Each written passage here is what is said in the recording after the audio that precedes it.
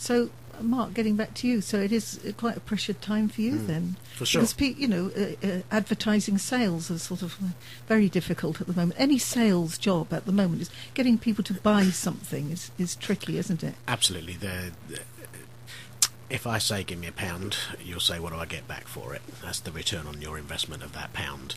And people are very familiar with that concept, very cognizant of the importance of it.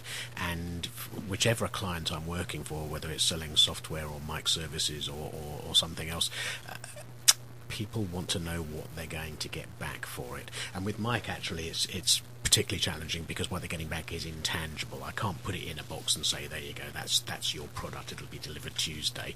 Uh, but even when there are products where that is the case, people are very cautious because even if they today have that pound to buy that product, they don't know what tomorrow is going to bring, and they're a bit concerned that they might need that pound tomorrow for something else. So, yeah, people are reluctant to buy, which makes life for salespeople much more challenging.